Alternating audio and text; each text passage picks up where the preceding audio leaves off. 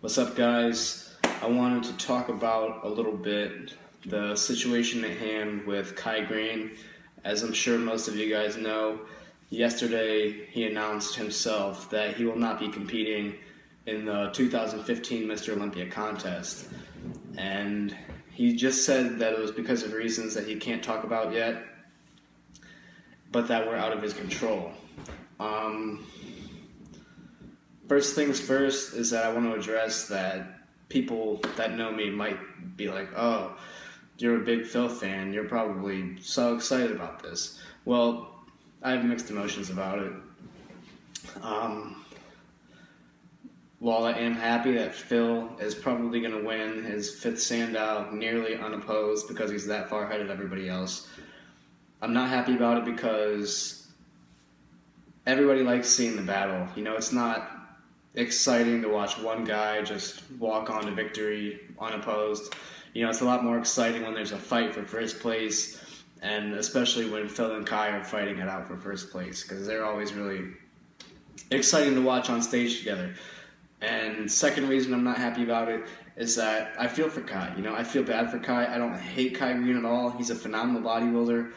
Yes, I do prefer Phil Heath's physique, and I would rather have Phil Heath be our Mr. Olympia. I don't hate Kai Greene by any means. He is a phenomenal bodybuilder, and the philosophical approach that he has to bodybuilding is absolutely unlike nobody else's. He is truly in a world of his own, and he's a champion in his own right. So, why is this happening that he's not competing? Well, there's a lot of speculation going on. Um, I don't think anybody knows for sure. I haven't heard from anybody that there's a definite reason yet but there's some conflicting stories. Um, I watched Kai Greene's video, and it seems like he's playing the victim of this. A lot of his fans think that he's a victim, and I think what one of the common speculations is is that the IFBB is just not letting him compete because they were afraid that he looks too good this year, and that this would be the year that he dethrones the champ Phil Heath which I think is absolutely the single handedly stupidest thing I've ever heard in my entire life.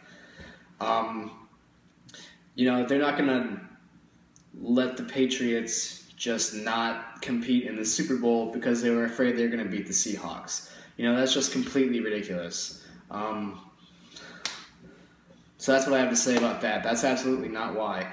But a lot of people feel like Kai played the victim in his video and there was an interview released by Flex Magazine with the promoter of the Olympia, namely Robin Chang, where he confirmed that Kai was given his contract months ago and that he was supposed to sign it months ago, but he asked for an extension in July to July, which they gave him, and he still didn't sign it. Um, he still hasn't signed it to this day, but they said that they had con- said that they had contacted him asking about the contract they and that they just couldn't get a hold of him. Um, I've also heard that he didn't talk to his trainer George Farah over the last month. I just have heard that he was just completely out of the loop with everybody in the last month or so, maybe more, maybe a little bit less, of this journey to the Mr. Olympia contest. So, what exactly happened? I don't know. There's been stories that it was a problem with booth space, that he asked for a free booth and they wouldn't give it to him. That he asked for a free booth and he said that if he didn't get it, he wouldn't compete. And they said, "All right, sucks for you. Show's going on without you." But there's other people that have said that he did try to pay for a booth. So what exactly happened with this whole situation?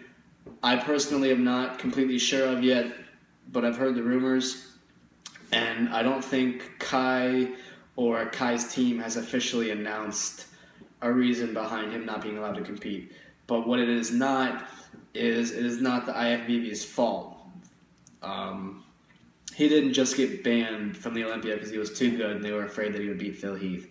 That's absolutely ridiculous. So that's about all I have to say about this topic.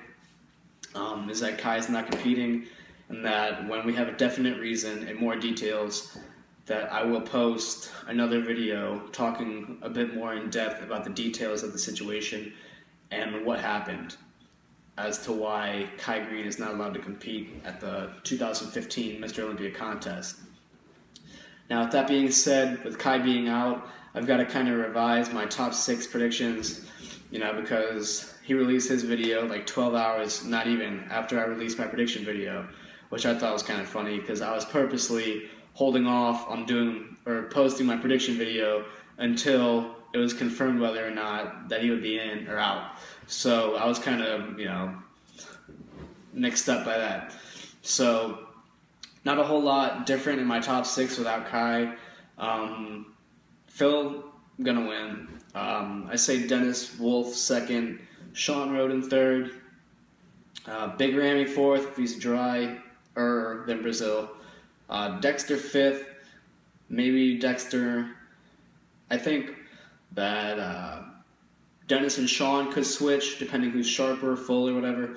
And I think Ramy and Dexter can switch depending on who's harder. But that also has to factor in Ramy's size that he has about I don't even know how many thousand pounds more than Dexter Jackson. So that could go either way. Um, so that's five. And then the sixth spot is honestly up for grabs.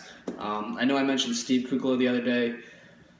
Um, it's been brought to my attention that I missed a few big names that could be wild cards in contention for that sixth place spot, or even higher possibly. Is um, Branch Warren. I didn't even think about him when I was making my prediction video. You can absolutely never count Branch Warren out of anything. Um, I think Juan Morel will be up there fighting for that spot. Um, I hope William Bonac is up there fighting for it because I love this guy's physique. You know, he's got so much muscle on that on that frame even though he is a little bit narrow from the back, his back isn't um, quite where it should be yet. He's getting there, and he's had a lot of time to improve since he last competed. So I think he'll be up there fighting for top six. I hope. Um, I think Cedric McMillan will be fighting for top six, trail into the top six too. I think that's a very high possibility. That's just guys off the top of my head. I don't have my list in front of me, but that is what I believe the top six will be. It'll, I believe it'll be Phil first, Dennis second, Sean third, uh, Ramy fourth, Dexter fifth, and then um, Steve, Branch, Juan, William, or Cedric will probably make out the rest of my top 10. So there's my top 10 predictions, I guess. So I hope that kind of helps you maybe a little bit understand the Kai Greene situation better. He is confirmed himself to be out of the 2015 Mr. Olympia contest, and I will have another video for you guys once I have a for sure reason an explanation to Kai not being able to compete.